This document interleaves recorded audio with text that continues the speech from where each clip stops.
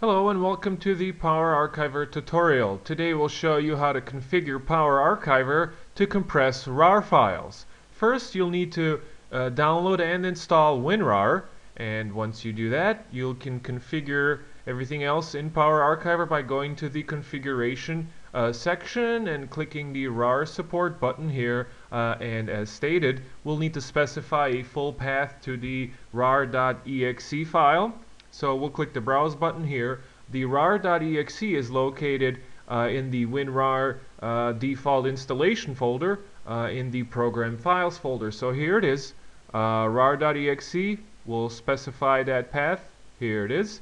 And click OK. Now, let's go and make sure that the rar compressed to rar shell extension is available also. There we go. There it is. We'll click OK. Now to test it out, let's exit Power Archiver. We'll select a couple of test files here. And there we have our option to compress to RAR. So we'll go ahead and do that.